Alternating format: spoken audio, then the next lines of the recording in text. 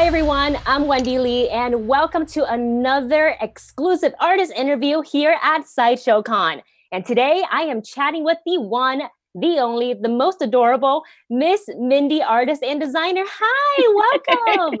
hey, it's so nice to see you, Wendy. How are you? I am doing fantastic, even better now that I'm talking to you. I am already a big fan of your work, um, and I would love to just jump jump into uh, our first question here.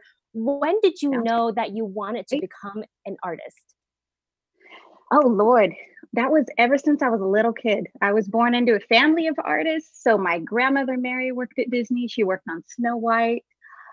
She worked on Pinocchio, uh, some of her cells. And so I knew at a very young age that I wanted to be an ink and painter. But then the computer came in, so I had to learn everything else. but wow. I learned ink and painting at least. So yeah, That's very young age. Mm-hmm. Very amazing. So your grandmother worked at Disney on Snow White, on Pinocchio. You're essentially a part of a legacy. Yeah, definitely. And she was just published in a book about. Um, they actually came out with names of all the women that worked in uh, Disney animation back in the day. So they've all been revealed. Uh, and uh, she was a part of that. And so I went in her honor. It was really awesome. It was very awesome. Go, grandma. Oh, that's so. Go, grandma in the sky. She's Go, gone. grandma. But... Team grandma. um, obviously, Disney then has a huge influence on uh, your throughout your life, throughout your work, as we can see. Has it always been Disney pieces as well? Um, oh, I was really into anime.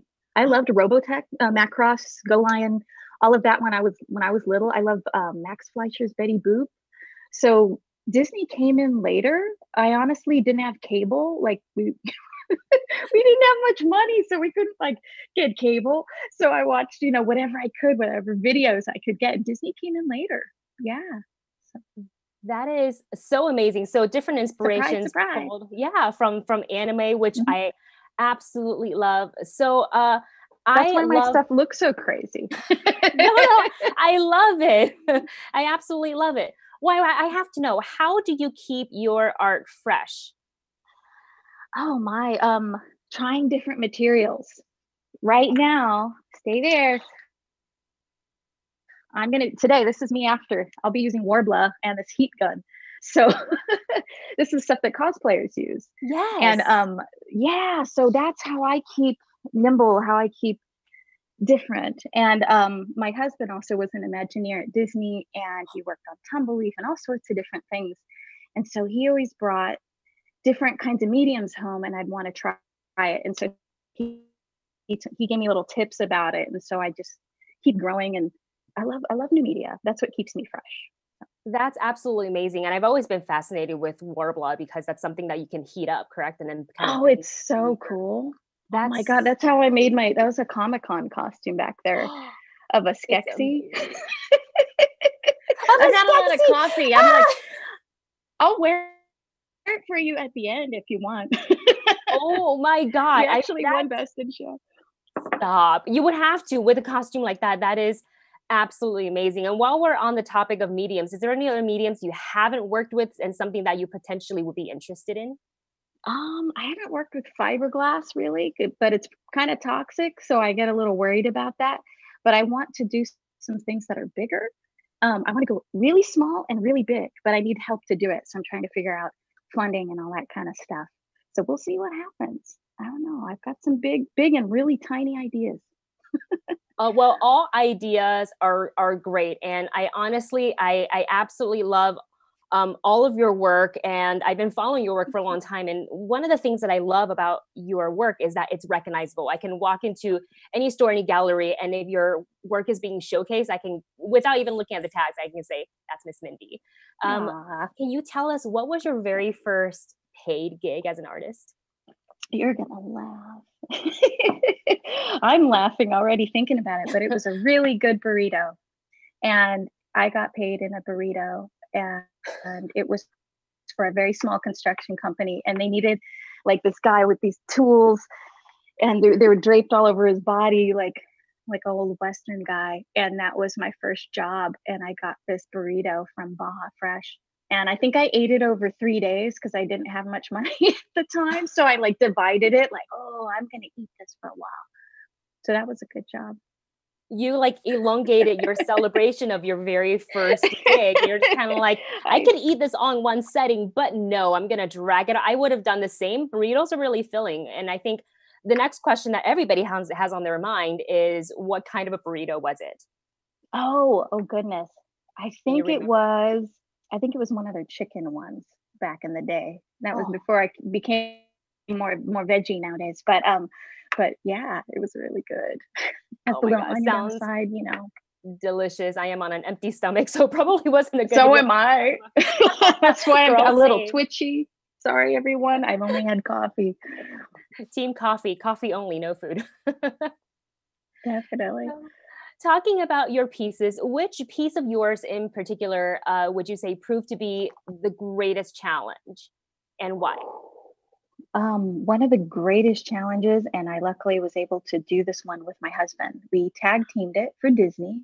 Okay. It was for D23, and it was um, it sounds cheesy, but it was our showstopper. And we we were just like, let's do something amazing. We were able to. I was already showing in the parks, and, then um, we got my husband in as uh, Ahab. That was his Disney name because he couldn't um, have his real name out there. And uh, so it was me and me and Ahab Shipyard doing this chess set that uh, it, it was about this big. and if you go to missmindy.com, I actually have a video of it up there right now. That's and it shows how it was made. And so my husband did the base of the board, and then I did the pieces and it was like the hardest thing I've ever done, but it was the most rewarding too. But oh my God, I remember I felt like for about a month I didn't know what day it was.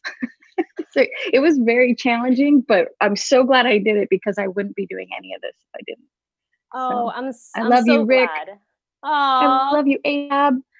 The cutest ever. How did yeah, it? How does awesome. it feel to kind of when you you know imagine a piece from from and also if you wouldn't mind take us through your process of design you, you get an idea in your head and you put what do you do do you put pen to paper first or do you kind of talk to your husband to plan it out what is it like for you yeah usually it's um, pen to paper that one it was really cool his idea was that he wanted it to be life size Ahab always goes big.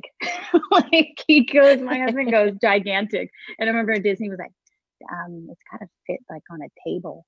And we went, okay. So we went, we went tiny. And um, so it usually starts um, sometimes when Rick and I are talking, we get really excited, but we don't do too many projects together like that. There's only been three, I think. Um, so when it's just me by myself, it's usually coffee shop or bar. and um, I go there and I'll just draw on a napkin or, or whatever, or look in my um, sketchbook from days of old and see, you know, what is grabbing me that week. What what do I have passion for that week? Uh, do I want to do it in a painting or a sculpture? Because I do both. So it's I, there's a constant battle in my little Irish head about uh, what to create next. It's interesting yeah. here. That's an interesting elf amazing. world in my mind. No, I think that's absolutely amazing. frightening. And I think that showcases just how creative you are with all of your di- design and all of your art. And I kind of want to circle back to some of your Disney pieces. Um, how do you decide?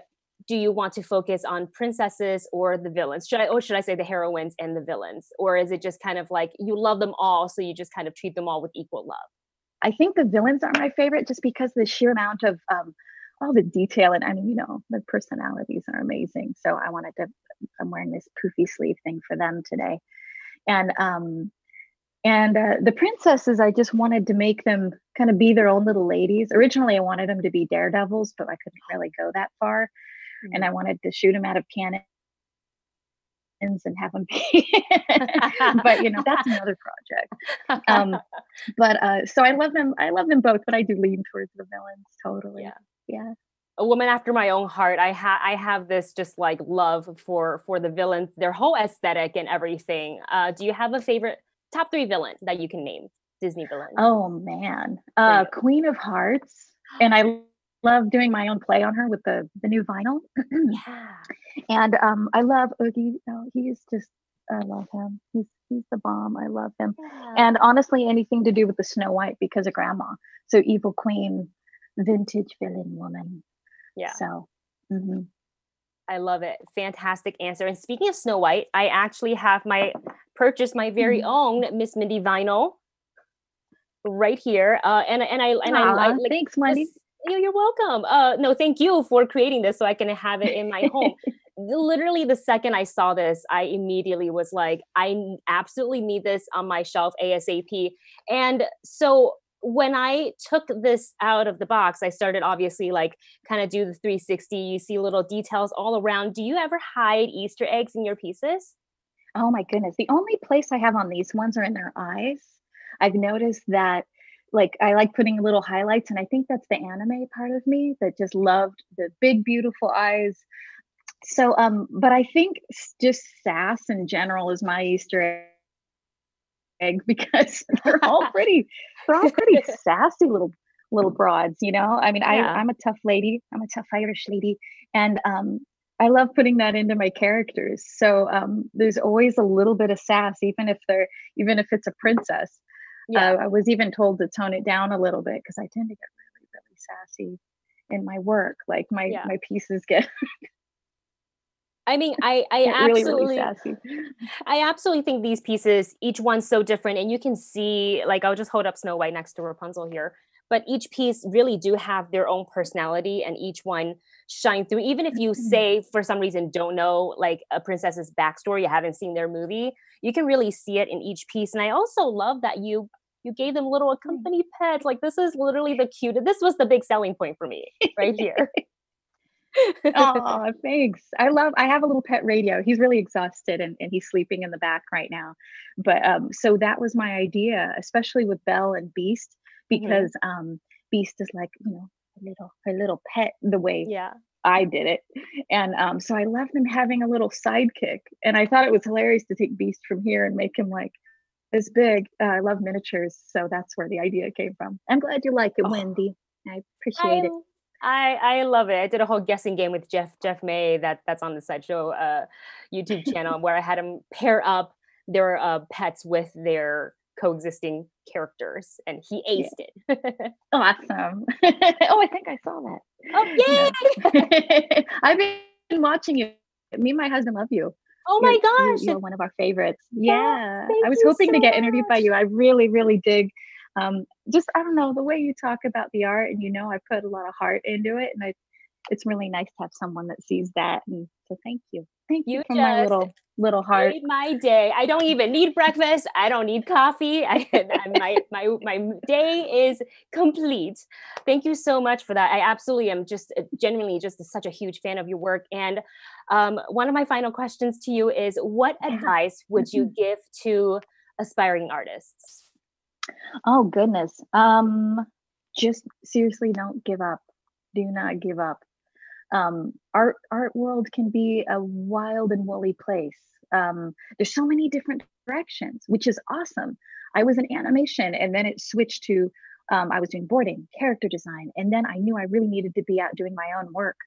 And um, so no matter what direction you go, even if it feels a little uncomfortable, be like, oh, find the right wave for you so that you don't just go, oh, I'm gonna give up, I'm not making money at it or whatever. You you, you just gotta keep going. It sounds cheesy and cliche, but it's it's the way to go. Just believe in yourself.